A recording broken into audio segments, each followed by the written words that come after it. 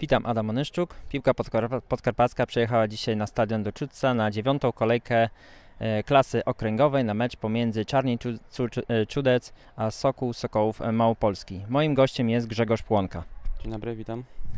E, Wygrywacie dzisiaj 2 do 0. Chyba tak mi się wydaje, że no mecz był pod pewną kontrolą. Jak ocenisz ten dzisiejszy mecz? Myślę, że od samego początku kontrolowaliśmy przebieg spotkania, ale no niestety nie dało się więcej bramek strzelić, ale trafiliśmy w pierwszej połowie, później już graliśmy mądrze piłką, druga, y, druga bramka wpadła i, i no i w sumie myślę, że, że bardzo, bardzo dobrze dzisiaj zagraliśmy. Mhm. Tak jak wspomniałeś, no sporo mieliście sytuacji, zwłaszcza gdzieś e, strzały sprzed pola karnego, ale trochę zawodziła e, skuteczność. No niestety dzisiaj nie nastawiliśmy dobrze celowników. Bramkarz dobrze się spisał, trzeba to powiedzieć, ale, ale cieszymy się z tych trzech punktów. Mhm. No w tym sezonie można powiedzieć, gracie troszeczkę w kratkę, bo e, jak sobie tu zanotowałem, e, wygraliście e, z, z, z Tobierną i z Orłem Wulkonieźwiecka, a później niespodziewana porażka ze Strumykiem Malawa. No teraz poprawiacie sobie humory. Tak, no dzisiaj poprawiliśmy sobie humor znakomicie, tym bardziej, że sobota, później pewnie się spotkamy z kolegami i, i coś pogadamy jeszcze o meczu.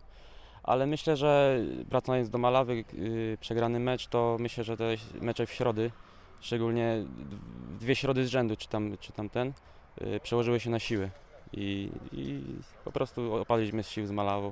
Też głupia pierwsza bramka i, i już później nie było pomysłu na grę.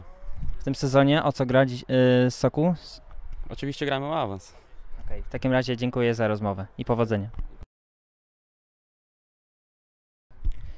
Moim drugim gościem jest grający trener drużyny gospodarzy Krzysztof Sierżęga. Witam, dzień dobry.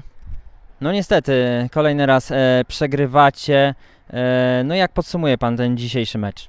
No, na pewno żeśmy grali z drużyną e, solidną, która e, od kilku sezonów zawsze e, plasuje się w górnej części tabeli i to też było widać. E, My jesteśmy świadomi tego, że e, skończyło się e, granie A-klasowe i no, po prostu nie będziemy wygrywać, tak jak powiedziałem to moim zawodnikom, nie będziemy już wygrywać po pięć meczy z rzędu, tu po prostu trzeba w każdym meczu dać siebie maksa, serducho, żeby, żeby walczyć o każdy punkt. No na razie, na razie jest ciężko. Robimy co możemy, mamy też swoje problemy. No i to tak wszystko e, na tą e, wyczekaną, że tak powiem, okręgówkę mm, złożyło się w najgorszym momencie, bo po 28 latach e, nie tak żeśmy sobie wyobra- wyobrażali powrót do tej ligi okręgowej. No ale plaga, plaga kartek, kontuzji, zwariowana, zwariowany czas przez, przez ten okres pandemii, wyjazdy i mówię, no nie możemy po prostu się dopasować w każdym meczu. E, Musimy e, szukać e, zawodników na różne pozycje i rotować tym i zmieniać. No e, faktycznie jesteście Beniaminkiem w tym sezonie. Czy jest duża różnica, jeżeli chodzi o poziom sportowy między klasą a klasą okręgową? No na pewno i to widać po tych właśnie drużynach, które e, już po pięć, e, pięć e, albo lepiej sezonów grają, e, że to są drużyny już e, oklepane e, na, na tym poziomie.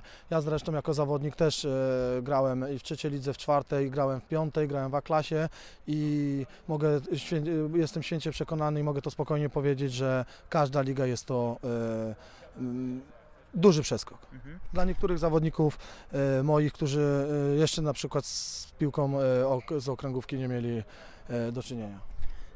Tak jak przejrzałem sobie też waszą kadrę, no to nie ma co ukrywać też, no macie stosunkowo wiekową tą kadrę. Z czego to wynika? Czy młodzi nie garną się do gry, czy z ograniczeń transferowych? No, jeżeli tutaj właśnie chodzi o tą kadrę, to no, prawda jest taka, że e, ciężko jest teraz e, ściągnąć młodych zawodników. E, Szukamy na różnych frontach. Udało nam się przed, przed sezonem dokoptować trzech młodzieżowców, ale, ale naprawdę nie jest łatwo. Próbujemy różnymi sposobami w, z różnych kierunków szukać tych ludzi, a ich tak naprawdę nie widać.